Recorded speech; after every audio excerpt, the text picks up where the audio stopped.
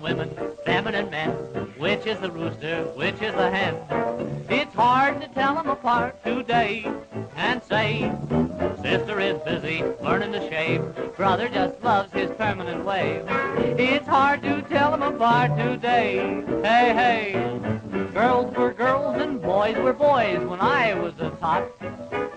Now we don't know who is who or even what's what. Knickers and trousers, baggy and wide. Nobody knows who's walking inside. Those masculine women and feminine men.